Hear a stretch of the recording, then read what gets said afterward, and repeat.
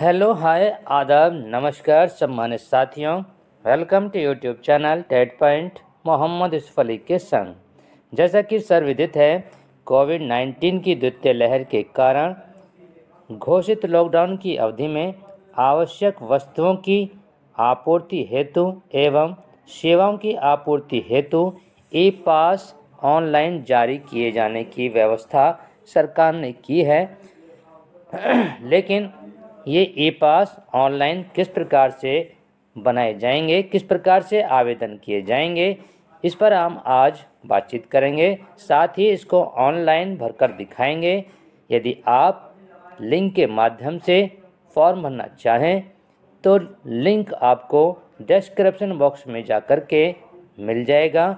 वहाँ से लिंक के माध्यम से फॉर्म को भर सकते हैं। दूसरा, यदि आप किसी क्षेत्र में आवश्यक वस्तुओं की पूर्ति की आम जन तक नहीं पहुँच पा रही है तो इसकी शिकायत कहाँ करेंगे? इस पर आज हम चर्चा करेंगे। साथ ही संस्थागत एक संस्था आवेदक सहित कितने कार्मिकों का आवेदन कर सकते हैं, इस पर चर्चा करेंगे। और साथ ही ई पास के लिए क्या क्या लगा सकते हैं, आईडी के रूप में, उस पर हम चर्चा करेंगे। तो चलते हैं। यदि आपको वीडियो पसंद आए तो लाइक करें, सब्सक्राइब करें, साथ ही शेयर भी करें। शेयर करने से ज्ञान घटता नहीं, ज्ञान बढ़ता है। तो चलते हैं। साथ ही यदि आप हमारे यूट्यूब चैनल के व्हाट्सएप ग्रुप से जुड़ना चाहते हैं तो डिस्क्रिप्शन बॉक्स में जाकर के लिंक के माध्यम से जुड़ सकते हैं। तो चलते हैं। विषय है हमारा कोविड नाइन्टीन द्वितीय लहर के कारण घोषित लॉकडाउन की अवधि में आवश्यक वस्तुओं की आपूर्ति, सेवाओं की आपूर्ति हेतु तो ई पास ऑनलाइन जारी किए जाने के संबंध में।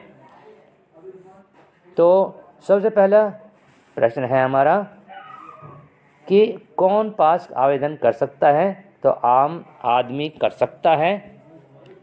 और जिसको एक जनपद से दूसरे जनपद में जाना हो या जनपद में किसी जगह जाना हो तो वो आवेदन कर सकता है। दूसरा, यदि किसी क्षेत्र में आवश्यक वस्तुओं की आपूर्ति नहीं हो पा रही है तो वो शिकायत कहाँ कर सकता है? वो one zero seven six number पर डायल कर सकता है। और संस्थागत पास एक संस्था आवेदक सहित कितने कार्मिक एक एक साथ आवेदन कर सकते हैं। तो इसमें आवेदक सहित पाँच कार्मिक एक साथ आवेदन कर सकते हैं संस्थागत, संस्था के रूप में। और ए पास में क्या क्या लगा सकते हैं? तो ए पास में आप voter I card, pan card, Aadhaar card DL आदि लगा सकते हैं। तो चलते हैं वीडियो के वीडियो के मेन पॉइंट पर कि किस प्रकार से हम आवेदन कर सकते हैं। तो चलते हैं आवेदन करने के लिए। अब आप अपने मोबाइल के किसी भी क्रोम ब्राउज़र में जाएँगे और वहाँ पर सर्च बार में लिखेंगे यूपी ई पास ऑनलाइन उसके बाद यहाँ पर सर्च करेंगे। सर्च करने पर आप स्क्रॉल करेंगे। इसे ऊपर स्क्रॉल करते चले जाएँगे। और जब तक ये ना आए लिखा हुआ we come to e pass UP इसको आप क्लिक करेंगे। क्लिक करने पर राइट कॉर्नर पर आप तीन लाइन मिलेंगी। इसको क्लिक करेंगे। उसके पश्चात अप्लाई ई पास करेंगे। को अप्लाई करेंगे। और यहाँ पर रजिस्ट्रेशन फॉर्म खुलकर आ जाएगा। इसको हम जूम कर देते हैं। ये हो गया जूम अब यहाँ हम कोई भी नंबर फिलअप करेंगे। Nine seven five eight nine seven seven two four nine ये फिलअप कर दिया। अब यहाँ हम कैप्चा भरेंगे। Seven eight five nine six. उसके बाद जनरेट ऑफ़ ओ को करेंगे।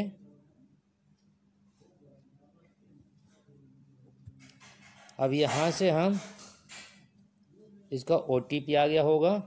ओटीपी देखते हैं। ये आ गया ओटीपी इस ओटीपी को हम यहाँ पेस्ट कर देंगे। सबमिट बटन दबा देंगे। और यहाँ पर एप्लीकेंट नेम यहाँ अपना नाम भरेंगे। M O H D Mohammad Yusuf Ali. उसके बाद यहाँ एज पर क्लिक करेंगे। डेट ऑफ़ बर्थ जो आप चाहें उसे कर सकते हैं। मैं एज पर कर रहा हूँ। तो यहाँ फोर्टी वन या फोर्टी टू जो भी कर दीजिए। और यहाँ पर मेल करेंगे। यहाँ पर आप कंप्लीट एड्रेस यहाँ अपना आप कंप्लीट एड्रेस भरेंगे। C H A M Chaman colony Meerut यहाँ आप सेलेक्ट करेंगे और पास एरिया भरेंगे विद इन डिस्ट्रिक्ट यदि आप जनपद के अंतर्गत हैं, काम, कोई भी काम है तो आप डिस्ट्रिक्ट फ़र्स्ट ऑप्शन को भरेंगे। यदि आपका काम जनपद से बाहर है तो आप ए क्रॉस डिस्ट्रिक्ट करेंगे। तो मैं ए क्रॉस डिस्ट्रिक्ट कर देता हूँ। और यहाँ पर select area select district of applicant तो आपका कौन सा जनपद है जहाँ आप रहते हैं, उसको आप यहाँ से सेलेक्ट करेंगे। तो मैं यहाँ करूँगा सेलेक्ट मेरठ। मेरठ कर दिया। अब जहाँ जनपद में आप जाना चाह रहे हैं, हापुड़ सेलेक्ट कर दिया मैंने। इसके बाद यहाँ पर पास फॉर सेल्फ ऑर्गेनाइजेशन। जिसमें भी आप करना चाहें तो मैं यहाँ सेल्फ करना चाहूँगा, क्योंकि मैं सेल्फ कर रहा हूँ। फिर दसवा पॉइंट, स्वास्थ्य सेवा, पशुओं के स्वास्थ्य सेवा सहित अदालती कार्य हेतु और आपातकालीन कार्य हेतु। तो मैं यहाँ पर आपातकालीन कार्य हेतु क्लिक करूँगा, क्योंकि इसके लिए कोई डॉक्यूमेंट्स अपलोड नहीं करना पड़ेगा। उसके बाद ग्यारहवा पॉइंट है सर्विस डिस्क्रिप्शन रीजन पर्पज तो किस कारण से कर रहे हैं आप? तो यहाँ उस कारण को भरेंगे आप। मैं भर देता हूँ एमरजेंसी पर्पज लिख देता हूँ। उसके बाद है बारहवा प्लेस ऑफ़ विज़िट कौन से किस जनपद में, कौन से स्थान पर जाना चाहते हैं? तो आप यहाँ पर लिख देंगे। मैंने लिख दिया गढ़ मुक्तेश्वर हापुड़ फ्रॉम डेट यहाँ आप डेट लिख देंगे छः तारीख। और यहाँ और ID proof title pan card यहाँ मैं पैन कार्ड अप्लाई करूँगा। और उसके बाद हमारा सोलवा पॉइंट आ जाता है। सोलवा पॉइंट में हमें जिस पैन कार्ड का, करा है हमने यहाँ पर प्रूफ लगा रहे हैं तो पैन कार्ड का ही हम यहाँ पर अपलोड करेंगे बसरते उसका जो साइज़ है 200 के बी होना चाहिए। यदि ज़्यादा होगा तो अपलोड नहीं होगा। तो हम चॉइस करते हैं चॉइस करते हैं यहाँ पर। और चोज करने पर यहाँ पर हम पहुँचते हैं। फ़ोटो में पहुँचते हैं और फ़ोटो में पहुँचने पर हम पहुँचते हैं। यहाँ आ जाते हैं और यहाँ आने पर हम पैन कार्ड को ये क्लिक कर देते हैं। उसके बाद सत्रहवें पॉइंट में आ जाते हैं। Applicant, photo, max size. इस इमेज का साइज़ जो होना चाहिए, इमेज का, सौ के बी का होना चाहिए। अन्यथा आपका रिजेक्ट हो जाएगा अपलोड नहीं हो पाएगा। चलिए इसे अप्लाई करते हैं। और फ़ोटो में पहुँचते हैं। फ़ोटो में पहुँचने के बाद हम अपना इस फ़ोटो को क्लिक कर देते हैं। और अब आ जाता है अट्ठारहवा व्हीकल टाइप यहाँ व्हीकल कौन सा है आपका? टू व्हीलर है कार है ट्रक है जीप है, जो भी है, आप यहाँ उसे भरेंगे। तो मैं उसका टू व्हीलर कर देता हूँ और उसका नंबर भी भर देता हूँ। अब यहाँ आप जाएँगे नीचे, आई वी के सामने एक स्क्वायर है, इसको आप चेक करेंगे और नीचे आपके नीचे दिख रहा होगा सबमिट सबमिट बटन, इसको आप क्लिक कर देंगे। क्लिक करने पर अब आपके सामने दिख रहा होगा आपको, your application for e pass is submitted successfully with regard number इतना please check status download your e pass from tack track your application option on home page of portal तो इस प्रकार से हमारा ये सक्सेसफुल हो चुका है। अब हम इसको चेक करेंगे। चेक कहाँ से करेंगे? अब हम फिर इसको हमें वापस जाना पड़ेगा। पहले हम इसका नंबर स्क्रीनशॉट कर लेते हैं ताकि हमें ये नंबर लिखना है।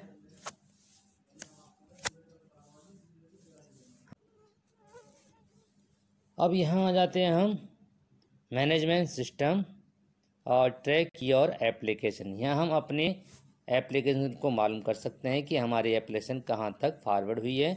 हम ट्रैक योर एप्लीकेशन को क्लिक करेंगे। यहाँ पर रजिस्ट्रेशन नंबर भरेंगे।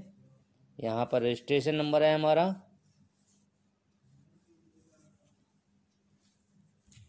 One three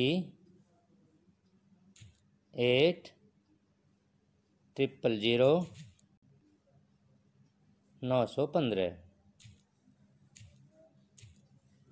One one three eight triple zero नौ सौ पंद्रह। और अब यहाँ पर हम अपना मोबाइल नंबर भरेंगे। सत्तानवे, अट्ठावन, सत्तानवे, बहत्तर, उनचास। और यहाँ हम सर्च बार दिख रहा होगा सर्च योर एप्लीकेशन इसको हम करेंगे। तो यहाँ आपको एक पूरा स्टेटस इसका दिख जाएगा स्टेटस योर एप्लीकेशन तो इसका पूरा स्टेटस दिख जाता है। अभी हमारी ये पेंडिंग है। उसके बाद ये सक्सेसफुली आ जाएगा, या जो भी कारण रिजेक्ट है, उसका कारण यहाँ पर आ जाएगा। तो जो भी रिजेक्ट का कारण आए, उसको आप सुधार करके दोबारा अप्लाई कर सकते हैं। लेकिन दोबारा जो होगा, वो चौबीस घंटे के, चौबीस घंटे के बाद अप्लाई कर सकते हैं, या आप दूसरे नंबर से कर सकते हैं, जो भी घर का आपका नंबर हो। यदि आपको वीडियो पसंद आए तो लाइक करें सब्सक्राइब अवश्य करें। Tight point by Mohammad Yusuf Ali